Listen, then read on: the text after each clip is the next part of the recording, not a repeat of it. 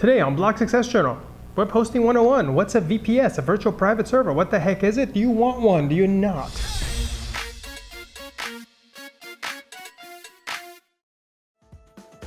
It's our favorite type of web hosting. Ab absolutely, bar none, our favorite type of web hosting once you've gotten out of the development phase and you have some funding for your web, you have some money to spend, more than five bucks a month for your web host.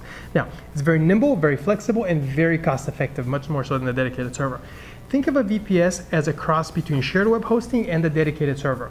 You know, it's, it's like really high-end shared web hosting. Instead of having hundreds of websites on this web server, there are just a very few web uh, websites, yours being one of them, it's like a very exclusive shared web hosting. it's a private club. It's, it's, a private club. It's very exclusive and more expensive, but with more reliable shared web hosting. Um, so it's basically a huge high-end server shared between just a few neighbors. Definitely what we recommend once you outgrow your, your cheap shared web host. Now, cost.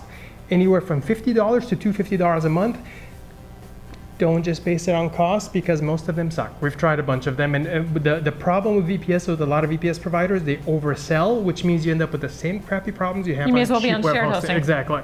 So, but the pros though, but if you get the right one, you're set. It's great. Now the pros, you pay for what you need. You know, you can start with a fifty dollar a month and uh, the plan, and, and, as your traffic grows and grows, it literally it's a five minute upgrade to double your your, your speed. You don't have to mm-hmm. move from this box to another box you know, if you get a traffic spike, most VPSs, what a lot of people don't know, will accommodate instantly your traffic spike, you know, what they call bursting. Basically, in, instead of having a dedicated server where this is what you got, and if you get mentioned on Oprah or somewhere or get on Digg and your traffic doubles, it runs into this limit and your site stops it off. We've actually had sites turned off before. You know, or you're getting too much traffic, boom, turn you off. Or your site goes kind of epileptic, you know, it just kind of stops. Ah. You know, and, and that's not what you want. You want your server to be able to accommodate that spike. VPSs by default can what they, it's called bursting. You know, you have a guaranteed CPU, but it can burst to four CPUs. You know, you have a guaranteed two gigs of RAM, but it can burst momentarily to 8 gigs in case of that spike. Don't think that's free though.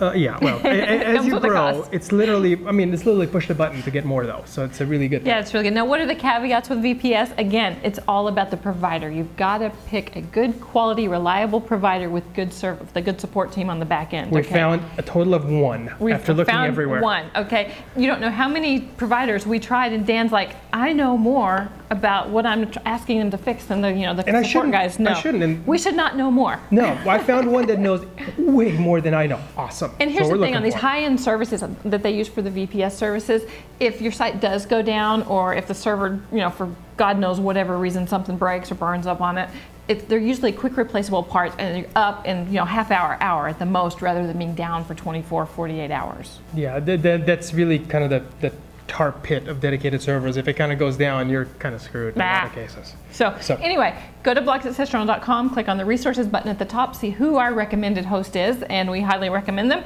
And also That's let us know who is your favorite VPS provider and why. Yeah, absolutely. Leave a comment.